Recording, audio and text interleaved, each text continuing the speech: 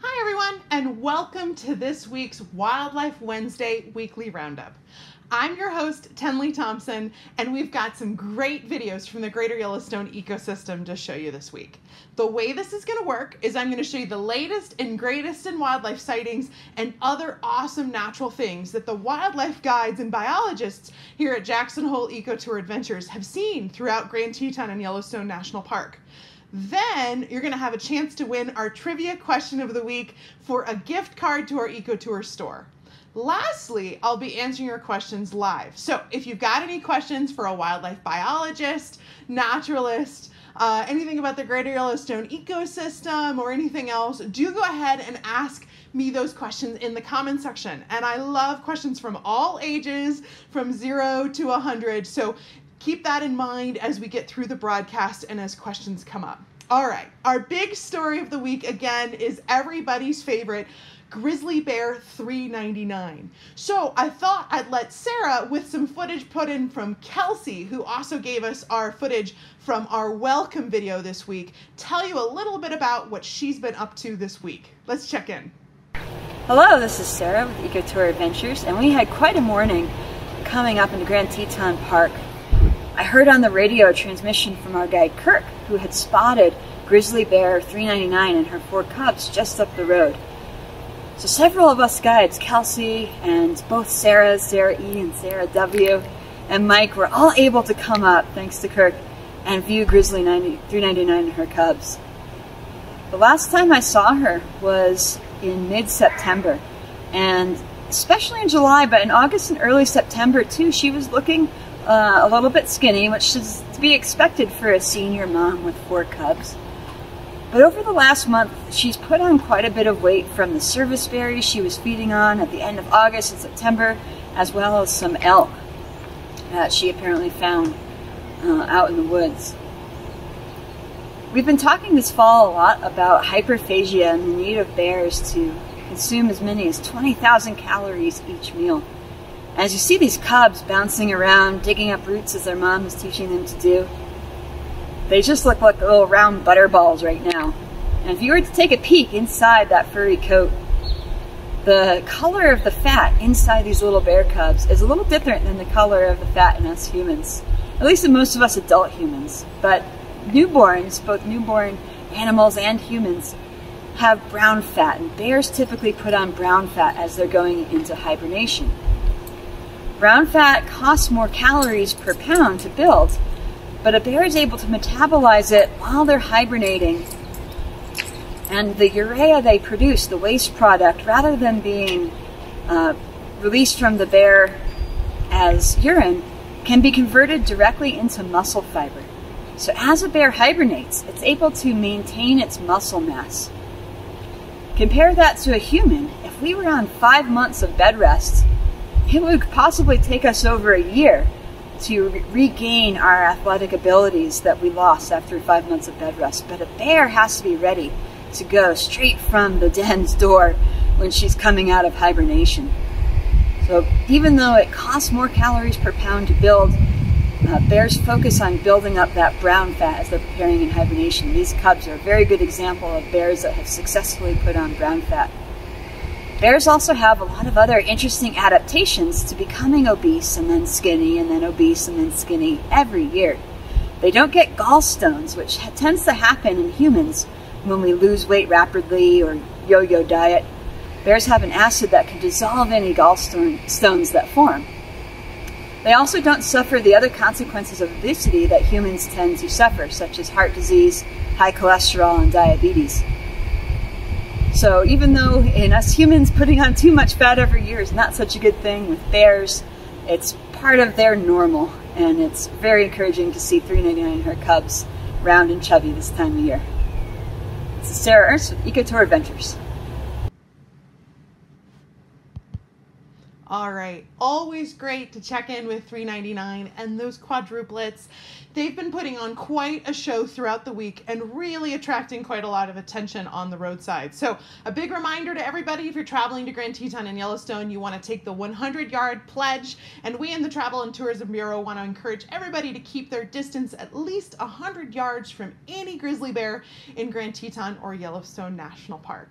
So next, let's check in with our annual nine-day fall photography workshop because they always end up getting the coolest sightings of wildlife. And certainly we'll get more from them as they decompress. They just finished up uh, but they wanted to give us a little sneak preview and a little sneak peek at some of the great things they saw while they were out and about over these last nine days.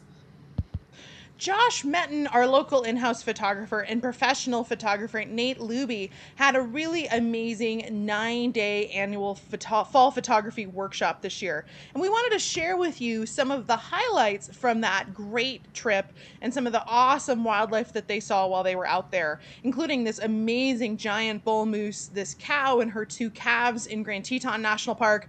The group was lucky to get a couple days of viewing of this particular rut breeding pair and this bull moose was incredibly cooperative with his posing. And so that was a big highlight, as was, of course, Grizzly Bear 399 and her quadruplets. And then something I don't get to see very often, pretty rare, they got a whole half day with this great gray owl, just getting an opportunity to photograph and observe and really be with this animal, which is something you don't always get the opportunity to do on these four hour or eight hour trips. They can stay with these animals for a long time and really get some of their great behaviors, including this beaver family, family which they got some awesome views of family behavior, dam building, social interactions, and of course, that lovely, awesome aspen reflections on the uh, water with these guys and the beautiful light as well. Just made for a really, really fun evening with this beaver family. So a lot of the clients said this was a real highlight for them, uh, believe it or not. Even though they got lots of opportunities for large animals, they really enjoyed seeing this beaver family hard at work. When they got up into Yellowstone National Park, they got quite a few opportunities to really see bison in their natural habitat and photograph family groups like this bull, cow, and calf. And then they got a particularly extraordinary opportunity one morning when this bull bison decided to walk through this hot spring area, and that reflection of the blue and the golden color of fall really personifies what the fall workshop is all about. Of course, rut groups and breeding groups can happen anywhere, including just outside Yellowstone at this track where these pronghorn antelope were having their breeding group. They also got an opportunity to see some wildlife that are more unusual in Grand Teton National Park in the summer. We see bighorn sheep in the wintertime, but to really see them in the summer is something you'd have to visit Yellowstone on a multi day trip, really get into the northern aspects of the park to have an opportunity with. So that was definitely a real highlight. These rams right by that rustling water. And and then they got another opportunity at a rare bird as well, which is this trumpeter swan duo, um, which is always, of course, a photography favorite. So a big thanks to Josh Metten and Nate Luby for giving us a check in from their fall photography workshop. I hope you enjoyed some of the highlights.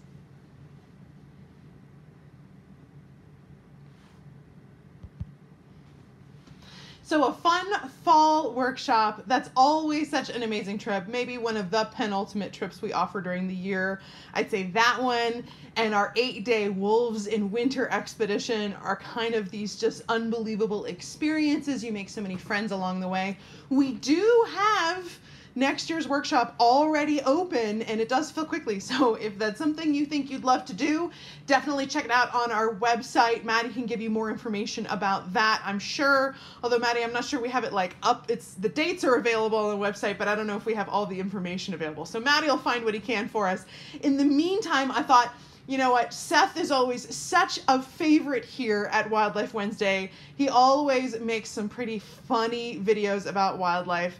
I thought I'd give him something that um, maybe would be slightly drier material for another guy that he'd find pretty humorous and make fun for everybody, which of course is our aspen trees. Our famous quaking aspens are changing color this fall. Let's check in with him. Your challenge, should you choose to accept it, is how many puns he makes in this one video. Let's check it out. Hi everyone, Seth Latka here with Jackson Hole Eco Tours, and I'm just tuning in to teach you guys some more about another uh, Greater Yellow e Yellowstone ecosystem local, the aspen trees. So it's been snowing overnight. Um, it's going to snow a little bit more tonight, and slowly these leaves are going to continue to fall. And so before all of them leaf us, um, I wanted to teach you a little bit more about the aspens. So what a lot of people don't know is that when you see a large group of the aspen trees, 10, 20, even 50 of them next to each other, odds are it's really just one or two trees. The reason being is they have what's called a rhizomic root system. Now what that means is yes, they do spread via seed, but also once a mother tree is established, roots will grow out radially from that tree and then um, it'll clone itself and genetically identical trees, or you can think of them as branches, sprout from that root system. This makes them um, one of the largest land living organisms in the world. The largest one is in Utah. It's called Pando, and it's about 100 acres, and they date the root system to be a couple thousand years old. Um, so pretty interesting stuff with that. Also, if you go up to one of these trees, let's find a good one here, maybe this big one, and give them a good rub. I know it's a little weird, just stick with me here. This white powder comes off.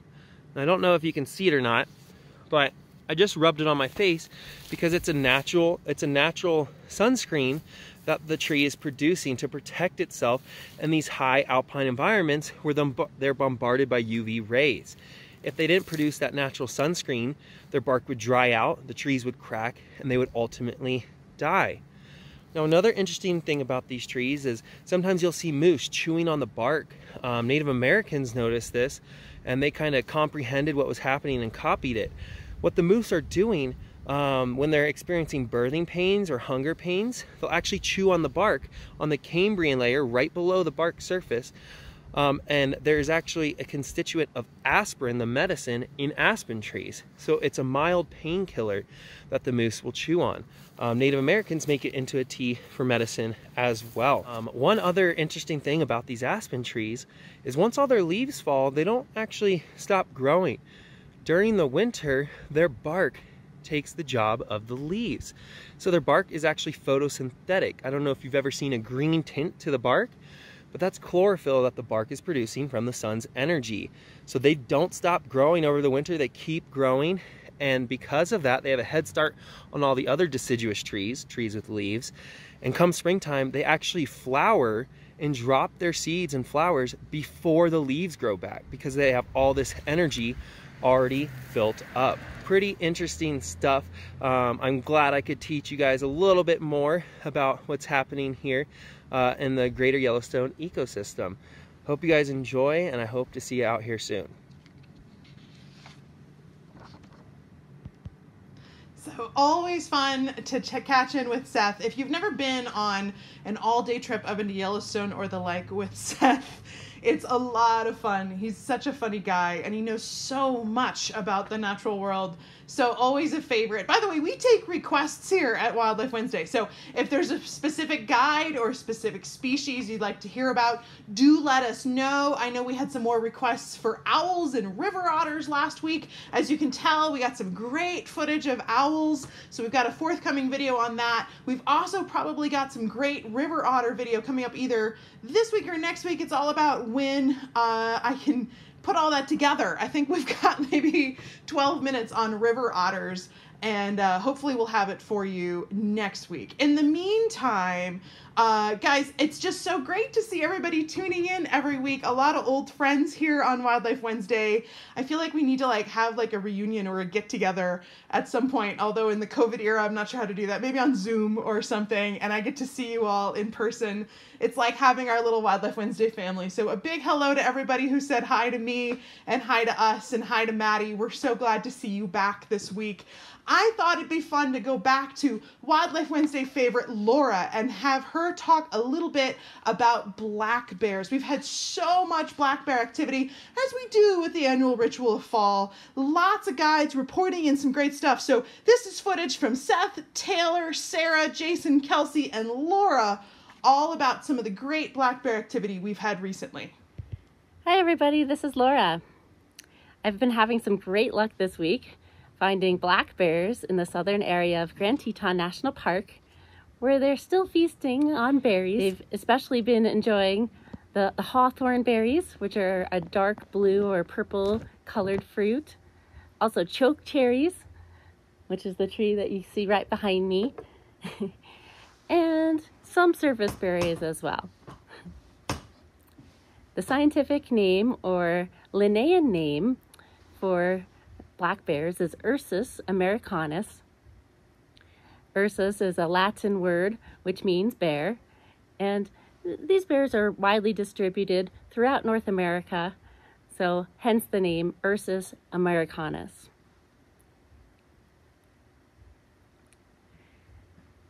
It's nice to be able to view bears, but we want to maintain a good safe distance away from them. 100 yards is the standard minimum distance to view a bear in Grand Teton National Park. So we've been using our great Maven optics, our binoculars and spotting scopes to see bears from a safe distance for us and for the bears as well.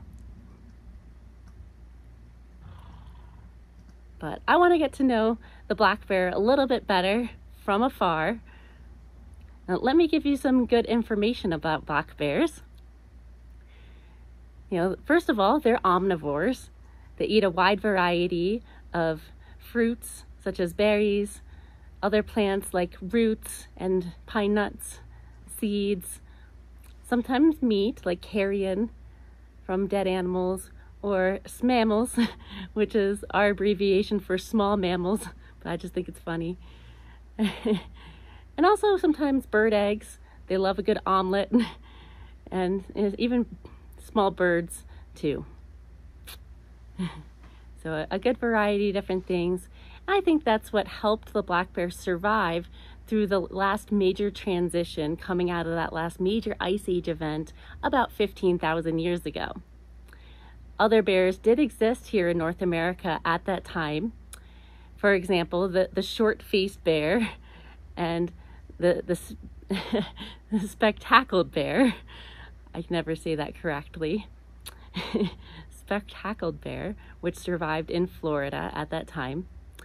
And the short-faced bear and spectacled bear um, primarily sourced their food from meat, whereas the more adaptable black bear or Ursus americanus was um, more varied. His diet consisted of a lot of different things, including many plants.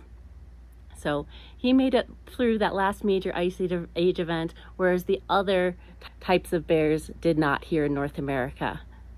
That's one thing that makes them so special and still so widespread across North America. Um, did you know that black bears used to be larger than they are today? Um, there's a, a, fossil skeleton of a black bear found in Pennsylvania from about 4 million years ago that was about the same size as our, our grizzlies or brown bears would be today. This thing likely weighed in around 1,200 pounds. So it was quite a bit larger than most adult black bears these days, who would weigh in for a male somewhere between uh, 150 to 600 pounds, and for a female between 90 to 350 pounds. So they're still pretty big in some cases. You know, they're much, much bigger than us. I don't think I could take one down with my bare hands, but imagine a black bear being, you know, maybe twice as big. Bears usually start their hibernation in early winter around here in the greater Yellowstone ecosystem. That usually means in November or December, although I've heard of bears staying out a little bit later into January. And they'll usually stay in hibernation for several months, emerging back out into the world right around March or April. But if a food source becomes available during that time, or if conditions improve and there's a carcass nearby or something like that, bears can come out of their dens. So even on my wintertime tours in the snow, I, I still do carry my bear spray for defense.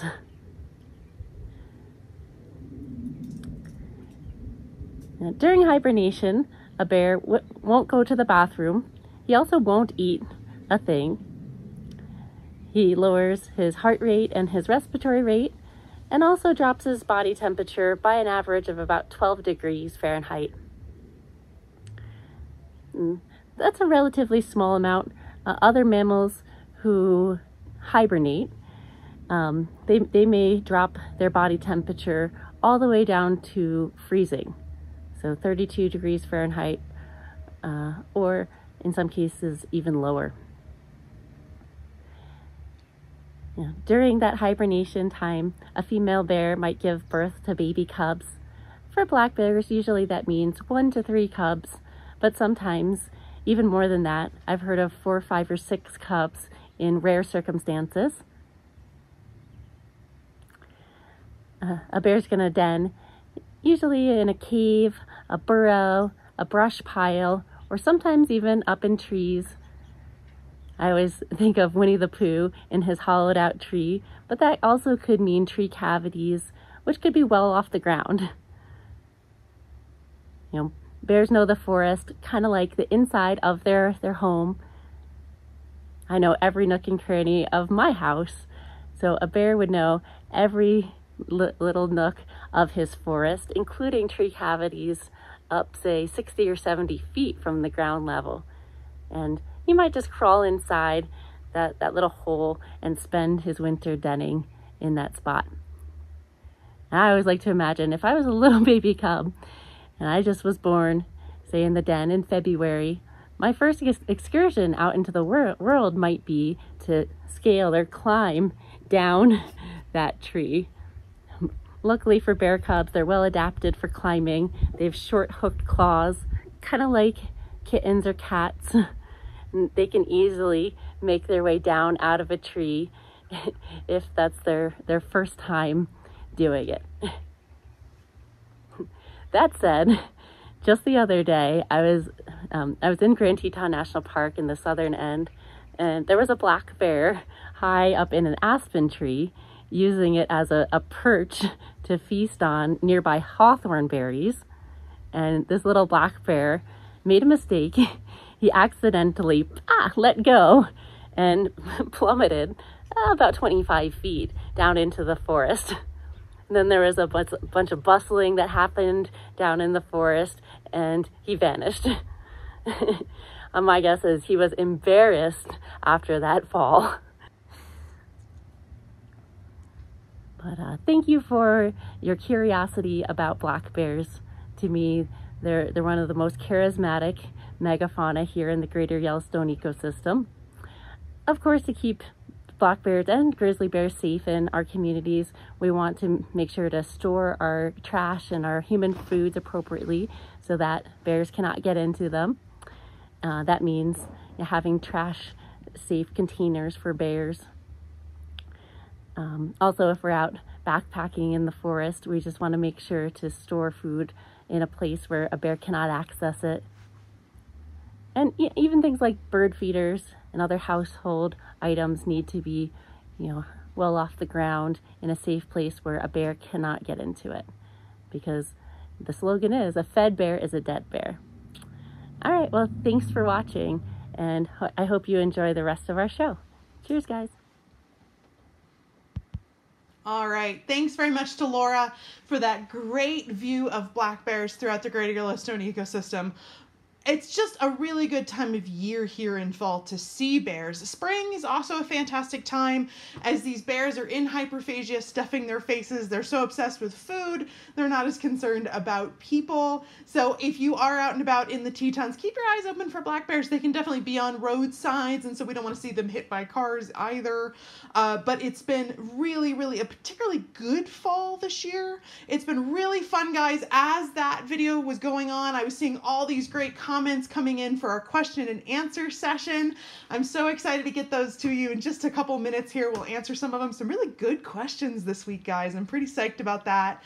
I do want to remind everybody if you're thinking about coming out to the Greater Yellowstone Ecosystem, Grand Teton, Yellowstone, and you're thinking about coming on a trip, we are offering 10% off a trip if you mention our Wildlife Wednesday weekly roundup when you book our programs. Maddie can go ahead and give us a link to the winter offerings that we have. I will tell you, if you plan on being out here in the holidays, we are filling up fast. So I would definitely get your bookings done early, not only for us, but for any other activities you might be planning to enjoy. We we also, of course, do a lot of cross country skiing and snowshoeing in the winter, which is one of my favorite things to do with guests. So, something to keep in mind 10% off if you want to be involved with that. And don't forget, if you're enjoying these broadcasts, to like and share our videos. That helps spread our reach, helps make these videos possible possible and worth continuing to do. So we certainly don't want to sit here and advertise at you. That's not the point of what we're here to do. But we do want to make sure that you guys are spreading the love if you're enjoying this and you know somebody who might enjoy it as well, or maybe somebody in your family or um, one of your children or grandchildren might have a question for a wildlife biologist, and I am here to answer them every week. So, all right, enough on that. Let's check in on pronghorn antelope with Mike. The main reason I wanted to talk about pronghorn this week is they're going to be leaving us soon. They're all they're not all going to die or anything, but they are migrating more than 100 miles to the south to their annual winter grounds. Basically with the next snowstorm, that'll be their cue to get out of town. Some years they've already left the valley, other years they may stay and linger for a little while. But I did want to get some last views of pronghorn before they depart and some great interpretation of this amazing species from Mike. So let's check it out. I wanted to share some great footage with you this week about pronghorn antelope. And pronghorn antelope are the fastest land mammal in all of North America capable of reaching speeds 60, 65 miles an hour. And they're also the fastest long distance runner, capable of doing 35 miles an hour for 15 miles, no stops, no breaks, no problem. And to be able to pull off these amazing feats, they have oversized lungs, oversized hearts, tiny little hooves built for speed that have pads in them. And their leg bones are not much bigger than the diameter of my finger. So just absolutely incredibly fast and very rare to be both the fastest sprinter and also the fastest marathon runner. So probably make Elon Musk very jealous to find this out. And the pronghorn antelope is not really even native to North America. It's instead native to Africa and Eurasia. The pronghorn antelope is the only living member of Antilocapridae. Its closest living relative is actually the giraffe. And the pronghorn antelope is one of my favorite critters because they're always visible. Their competitive advantage is out in the open flats where they can supposedly see a predator up to four miles away. So easily eight times the vision that you or I have. And they have eyes on the side of their head so they can actually see over 300 degrees. Some people have said maybe 320, 340 degrees. And while the pronghorn antelope can jump, say 20 feet in a single bound, I have never seen one jump over a fence. Instead, they get down on their bellies and drag themselves underneath the fence. Nobody really knows why. I speculate maybe because their eyes are so far on the sides of their head, they can't triangulate distance as well as you or I could. Or maybe those tiny little leg bones don't allow them to gain the height they would need coming down on the other.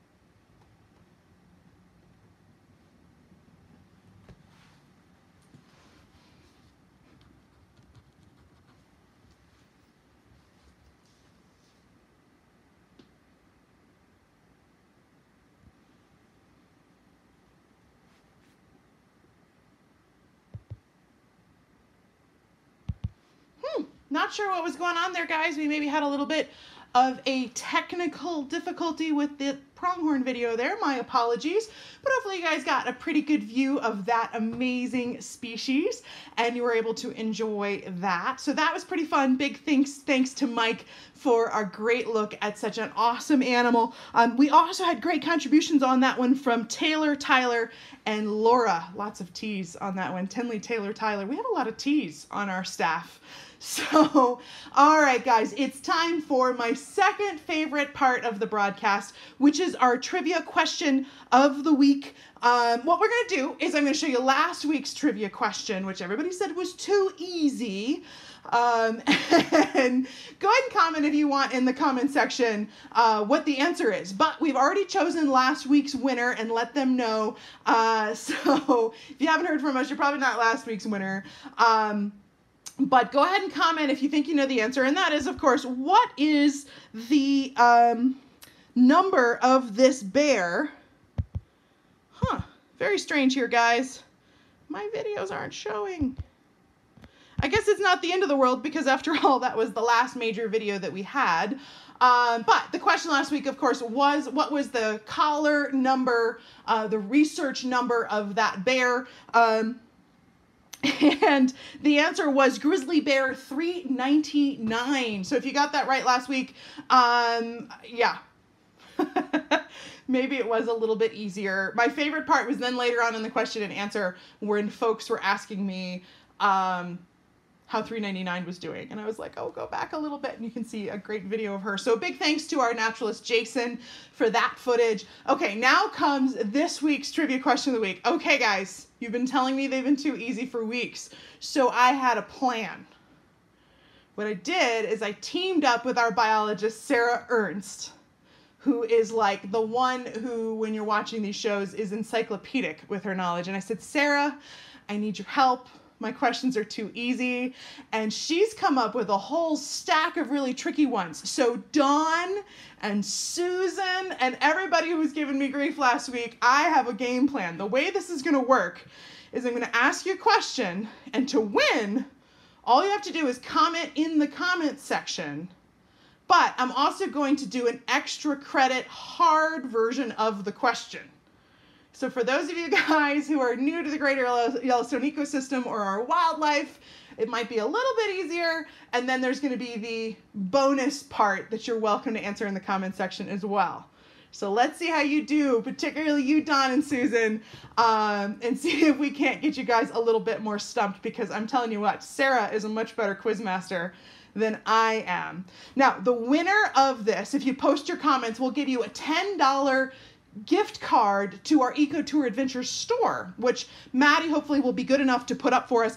That awesome store was created uh, for um, employee health insurance to go ahead and uh, help support us during the COVID closure so we could keep our insurance. So go ahead and check it out. There's some pretty awesome stuff. $10 is probably enough for one of our face masks or some of our the owl stickers that are on there, but also lots of other great stuff um, if you want to support us and somebody's going to win some money to that store. Okay, so the question is um, the suspense is killing us. Yes, Maddie, the suspense is killing all of us. The question is I want you to name me an animal that lives between Grand Teton and Yellowstone that turns white in the winter. That has a different color in the winter than it does in the summer. And I couldn't really put an image up for this or it would give it away. If you want your bonus, and Susan and Don, I'm looking at you, there are four animals that change color they're one color in the summer and they're one color in the winter. Can you name all four animals?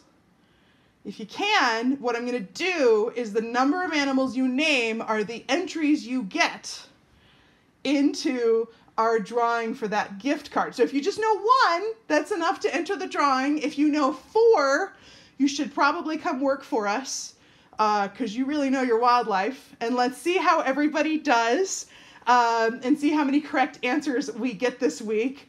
And uh, hopefully, I've got some of you stumped. Let me know what you think of Sarah and I's new quiz plan of the easier question with the bonus, more difficult part. And let me know was this hard? Was this easy? I thought it was pretty hard to name all four. I had to think about it for a minute. Maddie, let us know. Do you know all four? Don't tell us what they are. Don't give it away. But Maddie, who's running our comment section, who's also one of our naturalists, we'll see how he does at this as well. Um, but yeah, I'll give you guys a hint. It's not a moose. Everybody always says my hints give it away. It's not a moose. It's not a bison. Got to think a little bit more differently than that. All right, very fun. Uh, that's what we've got for our trivia. Now, of course, is my favorite part of the whole broadcast. I'm here to answer your questions live. So if you've got a question for me, go ahead and ask in the comment section uh, and I will see if I can't get you an answer. Let me sort of take a quick look. I've got my iPad here, um, so when you see me looking down, that's what's going on. I'm looking and seeing if I know the answers to your questions. Hang on, let's see here. I'm going to go all the way to the top. We'll get to the first questions first. Um, the first one comes from Krista. She says, Are four cubs rare? I am guessing. Krista, four cubs are very rare. Um, you're talking, of course, about Grizzly Bear 399 and her quadruplets. Four cubs in grizzly bears is incredibly rare. Um, and it's so rare we don't actually have a number for how rare it is. It's slightly more common in black bears than it is in grizzly bears. Um, triplets in grizzly bears are about one in 500 grizzly bear births Um, and of course, nobody's exactly sure how many grizzly bears we have in the continental United States, uh, but somewhere sub 2,000. So you can see how unusual that would be. Quadruplets, so unusual, we um, don't necessarily actually have a rate of knowing how much it is. However, weirdly enough, grizzly bears practice what's called delayed implantation, which is to say they breed in the spring but they actually wait to implant those fertilized eggs into their uterus until usually about December. And then typically the health and the condition of the bear dictates how many eggs are implanted. So if the bear is in really good condition, it may, for instance, implant two eggs. Historically, that's how we understood grizzly bears. However, 399 keeps having triplets and now has had quadruplets, which is strongly indicative single-handedly that there has to be a genetic component to this as well. There's no way she'd be having as many multiples, particularly considering last fall she was in pretty rough condition, certainly in no condition to be having quadruplets. So it may be that our traditional understanding that the health of the mother determines how many eggs are implanted. Um, she may single-handedly prove us wrong on that. So great question. Thank you very much for that. Rosalie asks, are wolves monogamous or do they mate freely? Rosalie, great question. And we just had a new research paper on this. So pretty fun. Just came out the latest study on this subject and it found that 80% of wolves are monogamous, which is to say they choose a mate and mate for life. If that mate, of course, passes away, they may get another mate. But the alpha male and the alpha female tend to be monogamous. Um, that divorce rate, so to speak, of 20%, far, far lower than in people, generally speaking, quite monogamous. And also about the same rate that you'd see in other animals we traditionally think of as monogamous, like, say, birds. So, yes, wolves are monogamous. Great question. Lessa says, okay, Tenley, 399 looks better. Doesn't she? Guys, she looks so much better. I mean, her cubs look like little butterball turkeys, but she looks so much better. So I'm really excited about that. I guess that's not a question, it's a comment, but so it goes. Let's see what else we have here. Susan says we should definitely do a meetup for Wildlife Wednesday groupies, maybe in the dead of winter. Maybe we should do a Zoom or something. Let me know in the comment section what you think. I think that'd be really fun. Just have like a little cocktail hour or something. That would be a blast. Let's see here. Do black bears kill elk or just grizzlies? asks Susan. Susan, that's a really good question. Black bears absolutely can kill grizzlies. It's, uh, well, black bears absolutely can kill elk. I'm not familiar with black bears killing grizzlies. It must be possible, but I, I, I don't know of any cases. Um, black bears can kill almost anything, including other black bears. Um, but they are not cannibals. They wouldn't eat those black bears, but they might, for instance, if they feel um, attacked or if they feel threatened, they can certainly fight each other. Uh, black bears actually can kill elk, particularly elk calves. They're not as successful at it as grizzlies, who are more built for it. Black bears are usually built for smaller game, but they absolutely are capable of killing and consuming elk. Um, in fact, which you just asked me is going to come up again in somebody else's question. So stay tuned. There's a question. Linda asks, have any of the guides had a too close for comfort encounter with bears? Linda, unfortunately, I think every guide on staff has probably had a too close for comfort encounter with bears. When I tell everybody it's incredibly important to keep your distance and give bears at least 100 yards, it's not because it's Yellowstone and Grand Teton's rules or uh, that you can get a ticket in the parks if you don't follow those rules. It's because it's common sense. Um, I've spent my entire life trying to educate people about bears and educate how amazing they are, and to try to help people understand that a lot of what we think about bears in this country is either greatly over exaggerated or just downright silly. People come out here terrified. They don't want to go hiking. They say, Well, I'd love to go for a hike, but a grizzly bear is going to get me and I, I don't laugh at them, but I want to laugh at them.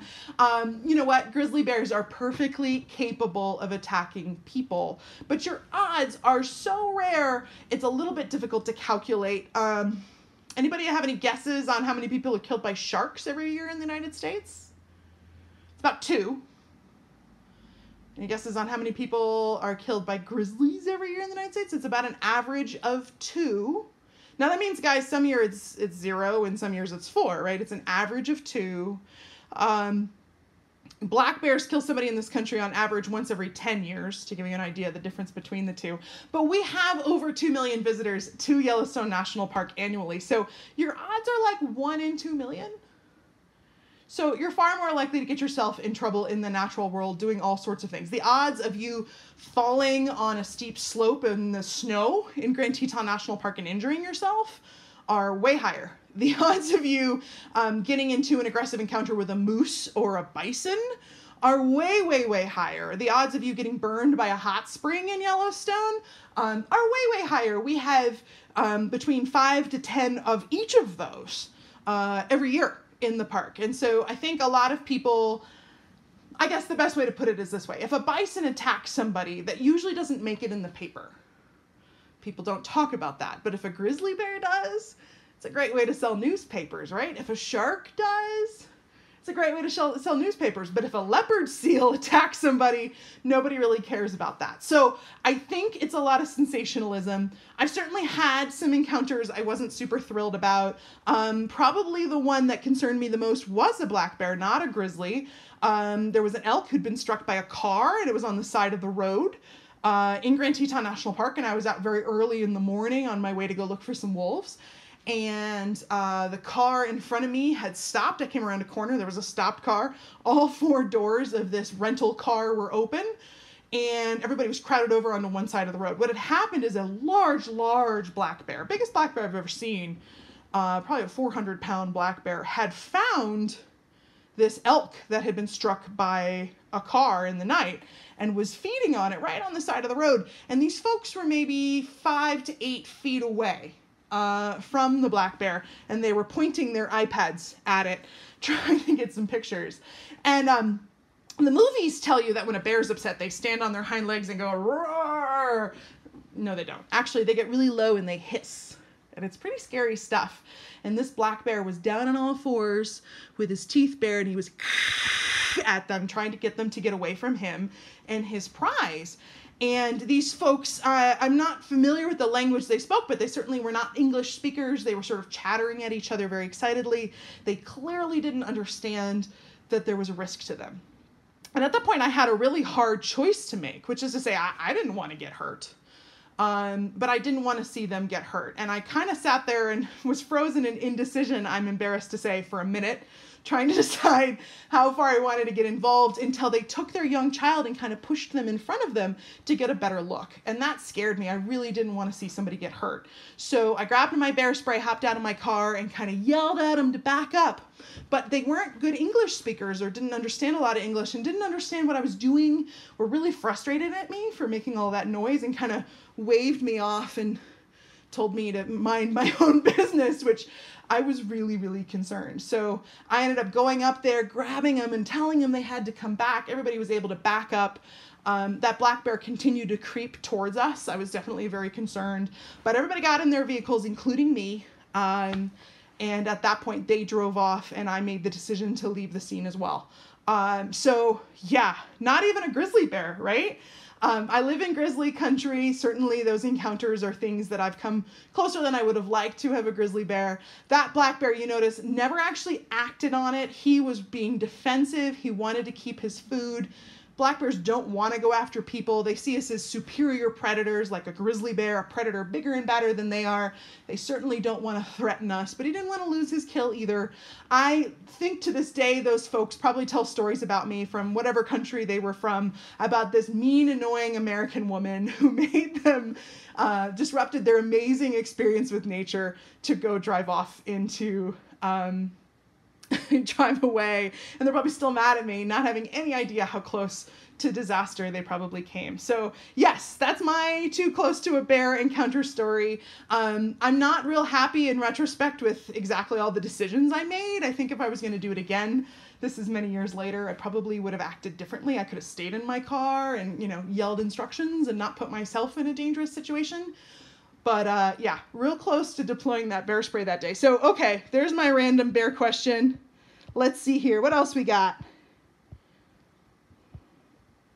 Hang on.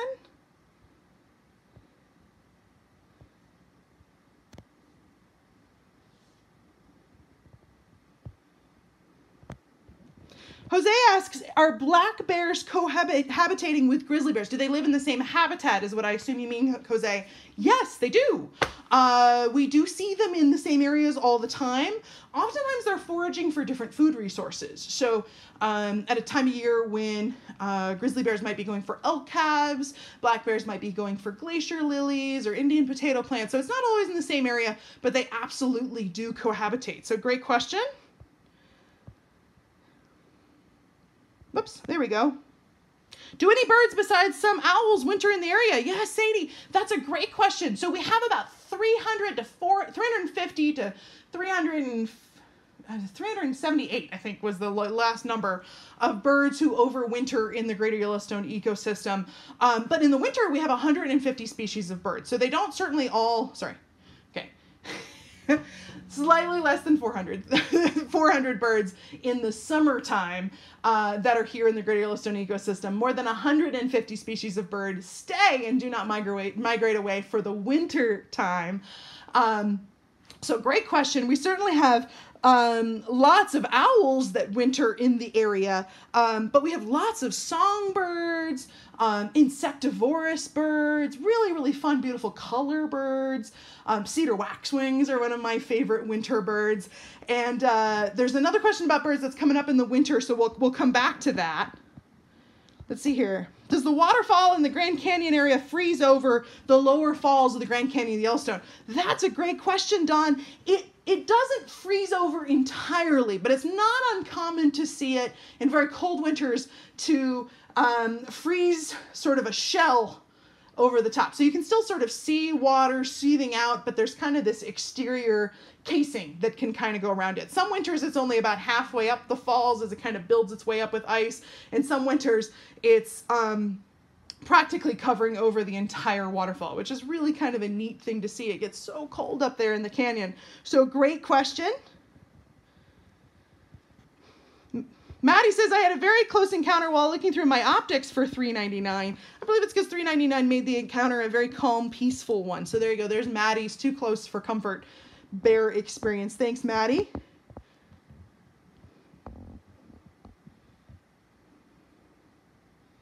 Let's see here. Sadie says Laura's happiness is contagious. It is, isn't it? Her happiness is contagious. She's that fun in person. Uh, so once again, like I was saying, if you've got favorite guides, man, Laura's just fun. She just makes that makes the world happy. So that's great. I agree with you, Sadie. Let's see here. What do beavers and otters do in the winter months, says Kim. So, Kim, uh, river otters behave in the winter much as they do in the summer. They do den in riverbanks. Oftentimes, they'll use abandoned muskrat or beaver dens as their own. Um, but they continue to feed on fish um, and other aquatic animals all winter long. In fact, river otters will occasionally go and look for a baby beaver uh, during the winter time. Beavers, of course, build these lodges uh, where they are safe in the winter. If you think about a beaver, can't really escape very fast on land, and if the ice freezes, how are they going to swim away, right? So what they do is they build these dams to bring the water level of ponds up high enough they can have all these underwater entrances, and then they take trees. Um, and they put them down in the mud of the pond and then they can eat the cambium the inner bark their food source by dragging it up into their lodges all winter long without having to come up on the ice. So a really great strategy. So beavers are perfectly happy in the winter uh, and certainly do not hibernate. So great question. Let's see here.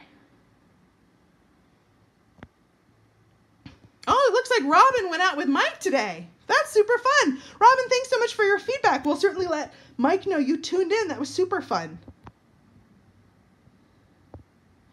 Ooh, Mark asks, what poisonous creatures exist in the Grand Tetons? Mark, that's a great question. Almost none. Almost none. It's a running joke around here that if it's going to kill you, it's going to be big enough and you'll certainly see it coming, like, say, a bison, right? Um, we do have um, northern rattlesnakes up in the very, very top of Yellowstone National Park up near Mammoth. Um, there's actually a really big rattlesnake in Mammoth that likes to hang out in the hot springs. He's super torpid because he, he eats the mice from the lodge and he's very fit and he's very fat and he sits in warm springs so the ground's warm. So he's a very happy old snake. Um, that's the only rattlesnake I've ever seen in Yellowstone. There's a couple others all the way up there. We don't have rattlesnakes in Grand Teton or in southern Yellowstone. We don't have um, poisonous amphibians or reptiles down here either. We certainly have poisonous berries, so you know, don't just eat any berry you can find. But generally speaking, um, not really any poisonous animals down here in the Greater Yellowstone ecosystem down in Grand Teton. So great question. I love that one. Let's see here. Lots of great answers for our store. Susan says, You got me on the bonus. Yes, Susan, that was my whole goal for the week. So thank you for the feedback. That's awesome. I finally got a hard enough question for Susan. Don, did I get a hard enough question for you? We'll have to see. Carrie says, I missed the question. My computer had a sound glitch. Carrie, uh, the question was Name me an animal that turns white in the winter. So if you missed it, that was the question. See here. Julie says, Will 399's quadruplets ever be tagged given numbers? And if so, what is that process? Julie, if they survive to subadulthood, uh, which is to say they survive long enough to separate out from 399 and become adult bears, typically in their third year of life, um, Grand Teton National Park and the Interagency Grizzly Bear Committee makes the decision that any roadside bear cubs, cubs raised um, in front of people with a lot of human habituation, should wear a tag at least in the couple first couple years, which is when they're most likely to get in trouble with people. Uh, just so that we can kind of keep an eye on them. So, for instance, Grizzly Bear um, 399's last set of cubs were collared um, and got their tags last week, I think, as were Blondie's cubs. Um, so they will go out and they will sedate the bears, um, and that sedation has a amnesiac effect, so they won't remember anything that happened after that. So they'll just suddenly get tired and sleepy after getting stung in the rear end by that dart. They'll fall asleep. At that point, they'll take lots of measurements. Um, there will be a veterinary expert on hand to make sure that they're doing well under their sedation. Um, and then they'll go ahead and give them that little piece of ear jewelry and then uh, a radio collar. Now that tag will automatically, the collar will automatically blow off when it runs low on batteries. And assuming that bear has lived a pretty clean, healthy life, has stayed out of garbage, stayed away from cattle, stayed away from bird feeders and the like, they may choose to not recollar that bear at that time. So the subadult phase of um, grizzlyhood between uh, the ages of three and four years old is when grizzlies uh, statistically in their lives are most likely to get into conflict with humans and get into human areas and um, maybe get into human food and become a problem for people. So if they can survive that period of time they typically tend to have uh, pretty long lifespans after that. So yes hopefully that answers your question. Let's see here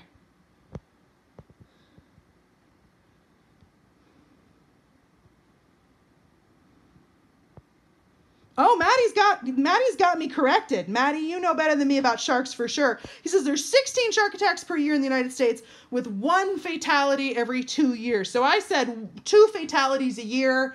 I'm probably just quoting an older study.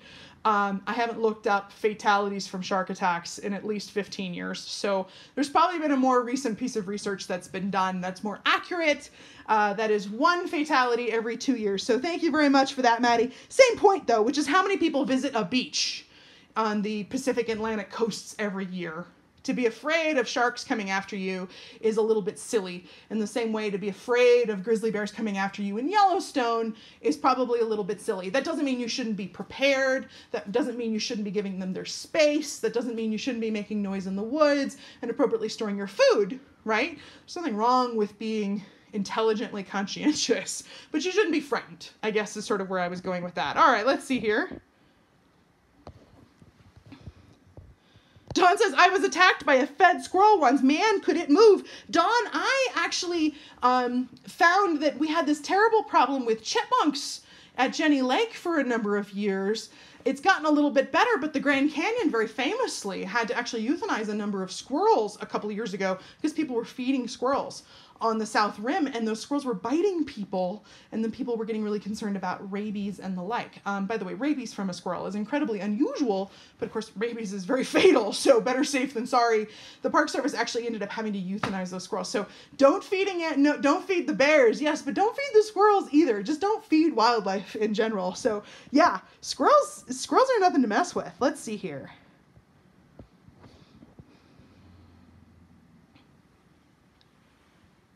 Toya says, should one layer when visiting Grand Teton? Toya, today's a great example of that. So I think when I woke up, it was like 35 degrees.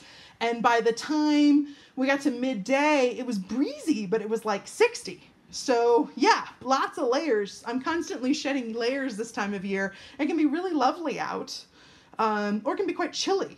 Just depends. So great question.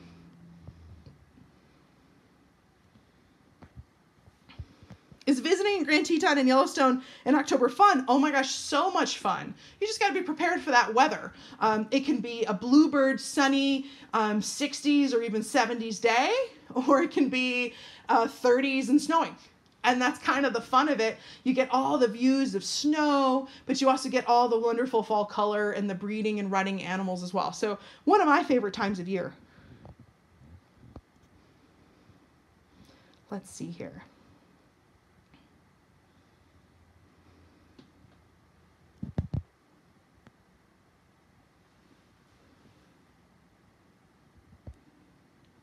Paul Fontaine asks, last month with the Junction Wolfpack chased off a grizzly that was getting near the pups. Was the bear identified as it did have a collar? Uh, I was on the day I was on the hill with you that day. Not sure if it's come back. So that was with Sarah Ernst. And I did not hear from Sarah if they had identified which bear that was. That's not uncommon. Um, the Park Service doesn't just like make a press release and be like, this bear was the bear who was doing things. So unless that bear's got really identifying characteristics, um, sometimes we don't know. And one of the things you have to be really careful about is people get so excited about grizzlies and collar numbers and um, which bear is which because they have such amazing, distinct personalities that sometimes they think every bear is a particular bear. So, for instance, lately, because of all of the excitement about that big male who was on the elk, who people suspected uh, was grizzly bear 791, everybody now thinks they're seeing 791 every single time they see a big male bear. Almost certainly not there are plenty big male bears in Yellowstone National Park. And so I do not know. I don't believe Sarah knows either. I will double check with her um, and I'll definitely respond to your comment if there is further information. But it's quite common for us to not necessarily know in those circumstances. Sarah says that she did get some amazing wolf footage earlier this week. She just got back from her multi day and she's going to share us with that hopefully for next week's broadcast. So thanks very much for that question see here. I don't know if I see any more. I think we've gotten all the questions, guys. All right. It has been such a pleasure. I want to remind everybody that this broadcast is brought to us by the Travel and Tourism Board of Teton County, who wants to remind you to be clean, careful, and connected. Stay up to date with the latest COVID information at jhcovid.com. Remember to regularly wash your hands, and face masks are required here in Teton County. So make sure you keep us all safe uh, here in Teton County and you do your part. We're all going to stay safe together, guys. It has been such a pleasure. I hope you all have enjoyed this week's broadcast and that you have a wild week and you stay safe. We'll see you next time. Bye bye.